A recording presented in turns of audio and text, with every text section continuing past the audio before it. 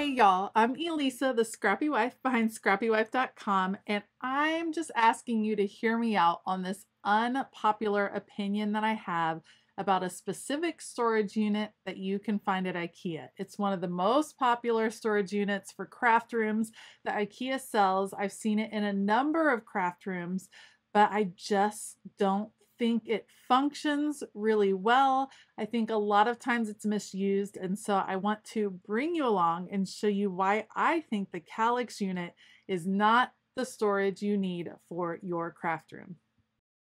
Obviously, I'm a huge fan of IKEA and IKEA storage, and I think the Kallax unit can be really functional, but I think a lot of the times it is misused in a craft room. And so I want to present to you my arguments for why Kallax units are not ideal for your craft space and then show you a few other options of things that I think would be um, a better choice to use in your craft room that are just more functional in the long run. So I hope you'll share your opinions with me down below. I realize that I'm probably in the minority. I've talked to a ton of people who have Kallax units in their craft rooms and who love them. So let me know below what unit do you have from IKEA or from any other storage place that is working really well for you?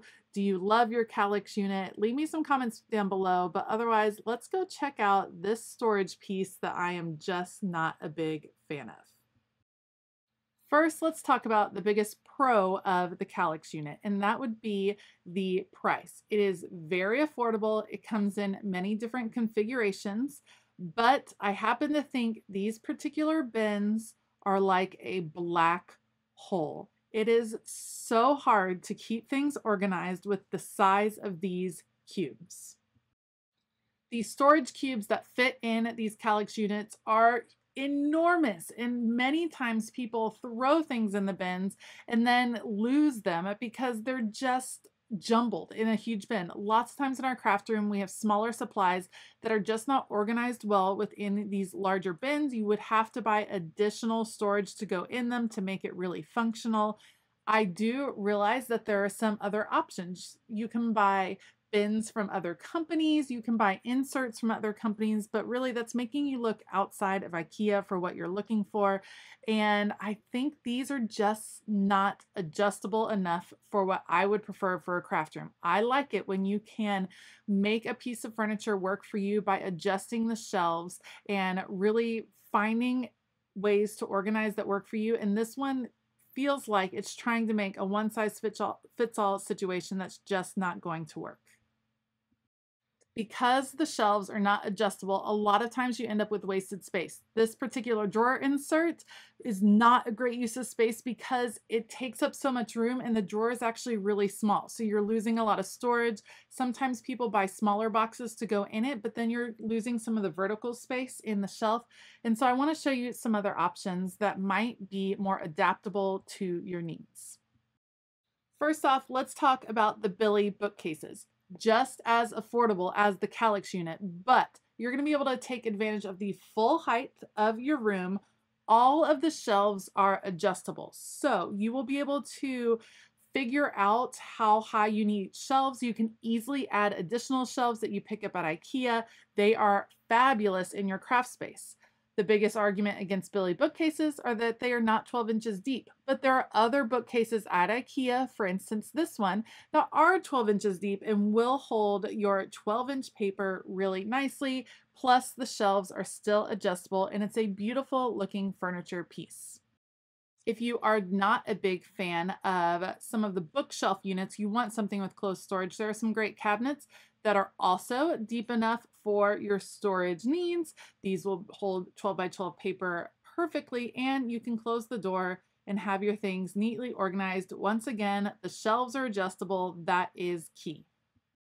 The closest piece that I found to a Kallax unit is this one. It has kind of the same cubed look, but the shelving is slightly adjustable, which I like. I love that it's a little bit asymmetrical in that you have different size openings. I just think that this gives you more function in the spaces that you're working on. I happen to really love this particular line because it has all of these glass doors. Yes, it's a little bit more expensive, but your supplies are going to be protected. There's plenty of room, and there are drawers at the bottom that are making good use of the space given to the drawer. It's not taking up extra room in the cabinet um, and causing you to lose some of that space that you paid for. If you really like that cubed look, you can always check out the Besta units. They, again, have that same cube feel, but you can buy all kinds of shelves. You can see where the holes are. There are lots of shelves that can go in here that you can customize and really make work for your craft space. They are just as deep as a Kallax unit, if not a little bit deeper. So you have some more options on how to put it together. Flexibility is key in your craft space, having things that can function as your creativity evolves. I think that is so important.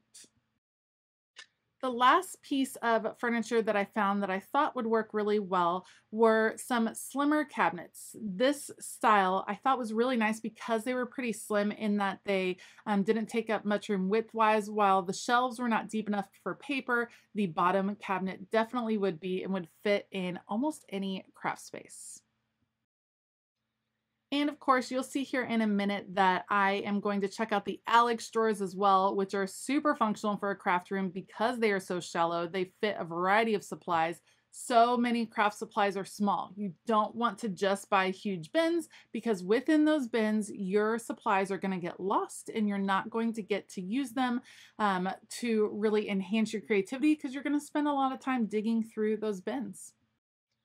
All right, take a minute, Give me a comment below. Let me know what you think. Do you love the Kallax units? Do you hate the Kallax units? What units work for you? What do you think about my idea of having furniture that can be flexible in your craft room? I think it's just super, super important. I want to give a huge shout out to all of my Patreon members. We just went over all of this in our Craft Room Organization Month and had a fabulous time. If you want to join us over on Patreon, there's lots of great things happening over there. Make sure to check out the link in the description box below. All right, I hope that you have a fabulous day. And as always, keep it creative.